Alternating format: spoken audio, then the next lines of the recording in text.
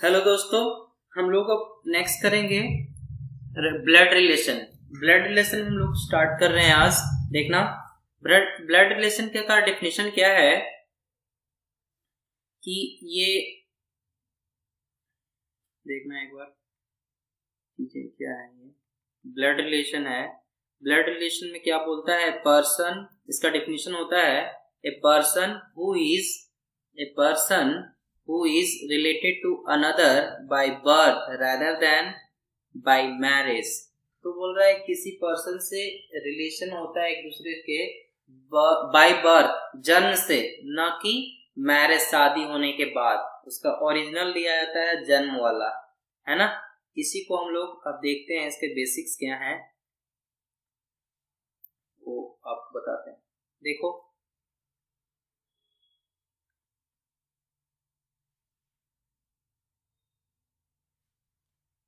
चीज़ें हैं क्या? ये इस तरह से। है ना? देखो, अब हम बताते हैं आपको। रिलेशन देखो ब्लड रिलेशन ना। ब्लड रिलेशन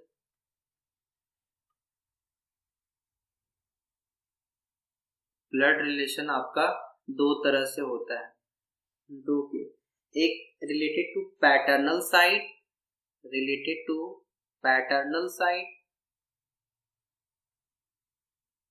paternal side एक होता है relation relation of maternal side maternal side एक पापा की ओर से, एक मम्मी की ओर से, है ना? अब देखो। फादर्स फादर्स का, अब फादर से चीज़ें क्या बनती हैं? फादर्स देखो फादर्स का फादर ग्रैंड फादर होते हैं। फादर की मदर ग्रैंड मदर होती है। फादर का ब्रदर अंकल होता है, चाचा होते हैं। फादर का सिस्टर आंटी होती है, चाची जिसको बोलते हैं, है ना? और father of sister uncle wife uncle wife aunty होती है। फादर सिस्टर बुआ आंटी इनको भी आंटी इंग्लिश बोलते हैं। बुआ अगर हो गई हिंदी में, है ना? अंकल चिल्ड्रेन कज़न अंकल के जो बच्चे होंगे उनको हम कज़न कहेंगे। ठीक है? वही हो गया। अंकल के बच्चे और आंट के बच्चे एक ही कज़न हो गए। Aunt of husband uncle aunty के जो हस्बैंड होते हैं अंकल कहलाते हैं। दूसरा, इसी तरह से हम लोग पढ़ेंगे अब मैटरनल वाला। मैटरनल वाला देखो। ये भी वही बात है। इसमें क्या है चीज़ें? इसमें बोल रहा है कि अब इसको हम हटा देते हैं। मदर का रिलेटेड मैटरनल साइड में देखो मदर्स फादर मदर्स के जो पापा हैं मैटरनल ग्रैंड फादर होते हैं। Mother's mother maternal grandmother नानी जिसको बोलते हैं। मदर्स ब्रदर मैटरनल अंकल मामा हो गए। मदर्स सिस्टर आंटी मौसी जिनको बोलते हैं। Maternal uncle wife of maternal uncle maternal aunty मामी children of maternal uncle cousin उनके जो बच्चे होंगे मामा के, वो भी कज़न होंगे भाई बहन होंगे जो भी। तो ये आपका रिलेशन हो गया। एक और जो होता है, शादी के बाद चीज़ें बदलती हैं, उसमें देखो क्या होता है। जैसे हाँ देखो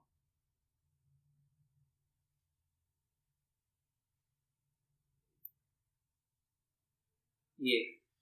अब देखो ये ग्रैंड फादर सन फादर और अंकल हो गए। ग्रैंड फादर के ये हो गए चीज़ें। यहाँ से देखो, ये सब तो जानते हैं हम लोग। सिक्स बोल सन वाला देखते हैं हम लोग। ये सन वाइफ्स सन सन का जो वाइफ होता है ना, ये देखो। सन का वाइफ जो होता है डाउटर इन लॉ सन की वाइफ जो होती है, बेटा की पत्नी, उसको हम लोग क्या कहते हैं? बेटा की पत्नी को, बहू हो गई ना घर की तो डाउटर इन लॉ बोलेंगे। डाउटर हस्बैंड बेटी की हस्बैंड सन इन लॉ दामाद जिसको बोलते हैं। है ना? हस्बैंड और wife sister sister in law brother son nephew brother son क्या हो गया? नेफ्यू भतीजा जिसको बोलते हैं। ब्रदर्स डाउटर नीस अंकल और aunt son and daughter cousin मतलब अंकल के और आंटी के जो लड़का और लड़की होंगे, उनको कज़न बोलेंगे। सिस्टर हस्बैंड सिस्टर हस्बैंड को brother in law sister husband को ब्रदर इन लॉ बोलते हैं। ब्रदर वाइफ को सिस्टर इन लॉ ब्रदर के वाइफ को sister in law grandsons granddaughters daughter great granddaughter होता है। है ना? ग्रेट ग्रैंड सन्स या ग्रेट ग्रैंड डाउटर्स डाउटर उसका बेटी great great great granddaughter हो गया। ठीक है, इस तरह से अब हम लोग आ जाते हैं क्वेश्चन पे। क्वेश्चन पे आते हैं और चीज़ों को यही है, आपको वहाँ जब समझाएँगे तो आपको सब चीज़ें समझ में आ जाएँगी। बेसिक से यही था। अब आ जाते हैं हम लोग क्वेश्चन पे।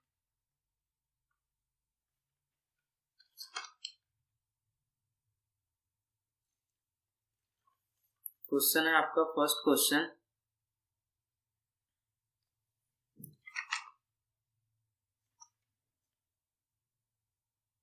Question, first question बोल रहा है, देखो एक्सरसाइज का ट्वेल्व पॉइंट ए बोल रहा है ना कि चीज़ें, अब देखो ए मेल को हम लोग क्या लिखेंगे ना? मेल को कोई भी मेल अगर है तो उसको हम पॉजिटिव से डिनोट करते हैं। कोई भी अगर फीमेल है तो उसको निगेटिव से। ठीक है? अगर कोई मैरिड कपल है, इसको हम इस तरह से करते हैं, इस तरह से। ठीक है?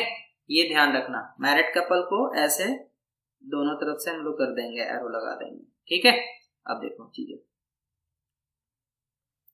अब बोलता है फ़र्स्ट क्वेश्चन है कि A is brother A is B brother B का भाई है।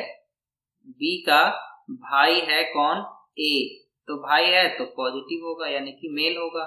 सी जो है एज मदर ए की माँ है कौन? सी माँ है तो नेगेटिव हो गई फीमेल हो गई। सी जो है ए की माँ है। डी जो है सी का फादर है। आपका डी जो है सी का फादर है। सी का फादर है, यानी ये डी हो गया। और फादर है तो पॉजिटिव मेल होगा। ई e जो है बी का सन है। ई e जो है बी का सन है। सन है बेटा है तो ये पॉजिटिव होगा है ना? How is D D related to A A का डी कौन है? ए का डी कौन है? जो यहाँ लिखेगा इज़ डी उसके बारे में पूछ रहा है उससे रिलेशन ए का डी कौन है? ये इसका भाई है भाई इसकी ए, क्या नाम है? ये इसकी ये इसकी मम्मी है, मम्मी के पापा है एंड ये इसके नाना हो गए, है ना? ग्रैंड फादर हो गए। ग्रैंड फादर हो गए। ठीक है? ग्रैंड फादर हो गए। ऑप्शन नंबर सी हो गया आंसर ऑप्शन नंबर सी हो गया। आपको एक चीज़ एक चीज़ हम आपको बता देते हैं। ये तो आपका क्वेश्चन आंसर हो गया फ़र्स्ट का। लेकिन एक चीज़ और आपको हम बताते हैं। किसी चीज़ को, कैसे करोगे? तो देखो, सबसे पहले ना जनरेशन लिखते हैं। जैसे मान लो, जैसे मान लो कि आपको, आप मान लो कोई अमित है, अमित अमित है। अमित का भाई ब्रदर ब्रदर इधर ही होगा। इसके इसके लेवल में जो जो आएँगे ब्रदर हो गया सिस्टर हो गया, इसकी वाइफ हो गई, इसके लेवल में जो जो आएँगे इसके बराबर में? वाइफ हो गई, भाई, बहन वाइफ हो गई। है ना? ये सब इसके एक लेवल में है, एक बराबर है। अब इसके पापा पापा का जनरेशन बदल रहा है ना? पापा हो गए, ये फादर हो गए। मीन्स की फादर लिखना है। फादर हो गए मदर हो गई, एक जनरेशन लिखेंगे। अंकल हो गए आंटी हो गई आंटी हो गई।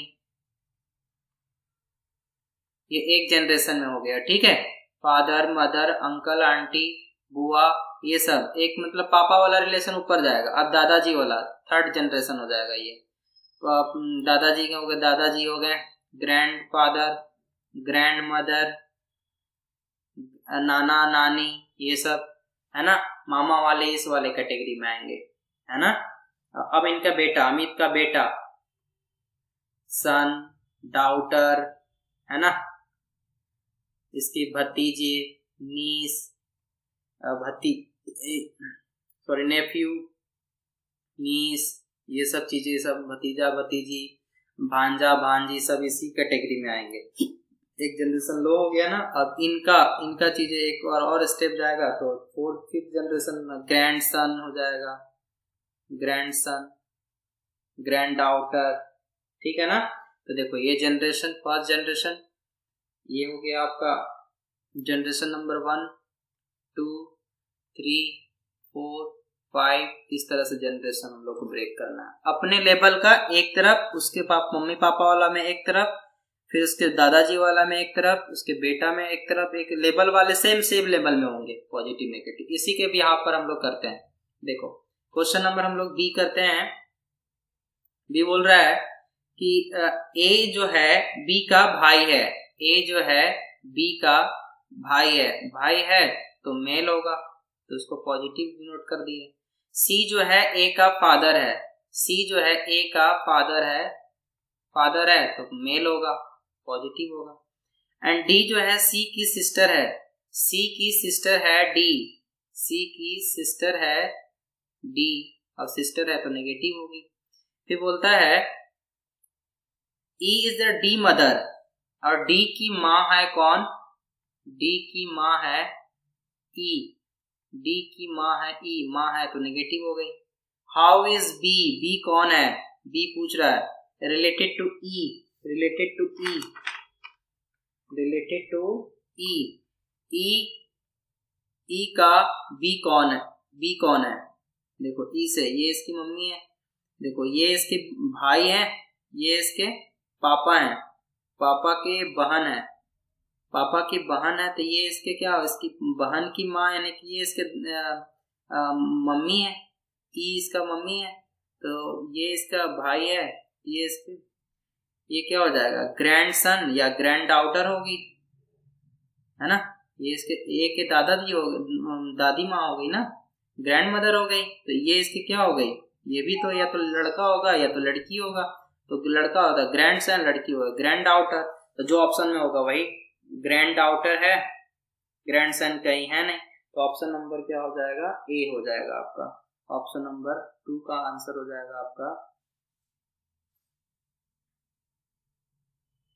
ऑप्शन नंबर ए बोल रहा है बी कौन है? ए ई का।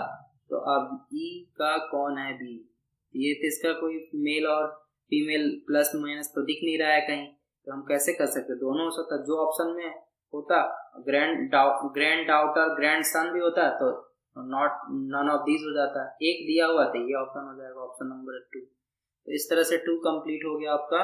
तो हम लोग करेंगे क्वेश्चन नंबर थ्री ठीक है? थ्री बोल रहा है कि A is B sister A जो है बी की सिस्टर है। ए जो है बी की सिस्टर है। बी की सिस्टर है ए सी जो है बी की माँ है। बी की माँ है सी फिर बोलता है C is B mother and D is C father C के फादर हैं आपके डी फादर तो positive E is D mother D की मम्मी है ई e. जो है ये इसकी मम्मी है। Next then how is A A कौन है? रिलेटेड टू डी डी की ए कौन है? ये इसकी मम्मी हुई। मम्मी के ये फादर है। तो ये मम्मी के फादर यानी कि नाना जी तो ये ये ये इसके कौन हुए क्या हो गया ग्रैंड डाउटर हो गई ना? Granddaughter option number D granddaughter हो गई, पोती हो गई नतनी जिसको बोलते हैं। थ्री कंप्लीट हो गए थ्री कंप्लीट हो गए आपके। हम लोग अब क्वेश्चन नंबर फोर नेक्स्ट में करेंगे। Thank you